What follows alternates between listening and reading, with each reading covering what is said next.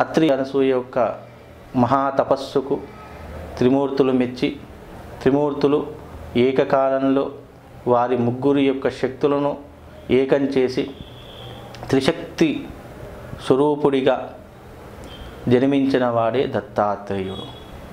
బ్రహ్మ విష్ణు మహేశ్వరుల యొక్క రూపమే ఈ దత్తాత్రేయుడు.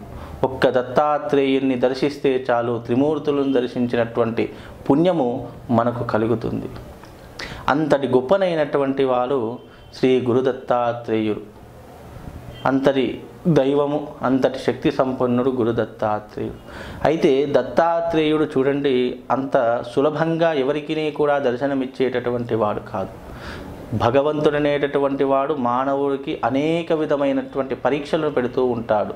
అంటే భగవంతుణ్ణి చేరుకోవడానికి మనలో ఉన్నటువంటి కామ క్రోధ లోభ మోహ మద మాత్సర్యాదులన్నీ కూడా తెగించి ఆ భగవంతుని దర్శనం చేసుకునేటటువంటి తత్వమే ఈ గురుదత్తాత్రేయుని యొక్క తత్వం. అవి కేవలం మనమే కాదు ఆ భగవంతుడే మనలో ఉన్నటువంటి అన్నిటినీ కూడా తెగించి అంటే మనలో ఉన్నటువంటి లోభత్వము కామత్వము మోహత్వము అదేవిధంగా అహంకారం ఇవన్నీ కూడా సర్వనాశనము చేసి తన దగ్గరికి తీర్చుకునేటటువంటి తత్వమే గురు దత్తాత్రేయుని యొక్క తత్వం ఈ దత్తాత్రేయ జయంతి నాడు మనము ముఖ్యంగా ఆచరించవలసినటువంటి నియమాలు ఏమిటి అంటే సూర్యోదయానికి పూర్వమే నిద్రలేచి ముఖ్యంగా స్నానము సంధ్య అనుష్ఠానములను యథాప్రకారం నిర్వర్తించుకొని భగవంతుని ముందుగా ధ్యానించాలి.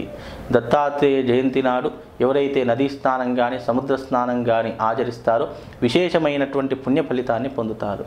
లేదా కుదరనటువంటి వాళ్ళు మామూలుగా ఇంట్లో గంగే చయమునే చైవ గోదావరి సరస్వతి నర్మదా సింధు కావేరి జలేస్మిన్ సన్నిధం కురు అనేటటువంటి శ్లోకాలను పఠించి స్నానం చేసి చక్కగా భగవంతుని ఆరాధించినట్టయితే అంటే దత్తాత్రేయుని ఆరాధించినట్టయితే వారికి మానసికంగా కానీ శారీరకంగా కానీ ఆనందం పొందుతారు. అంత ఉపయోగకరమైనటువంటి ఆ యొక్క దత్తాత్రేయుని మనం ధ్యానిస్తే చాలు. మనలో ఉన్నటువంటి సర్వ పాపాలన్నీ కూడా నశించిపోతాయి.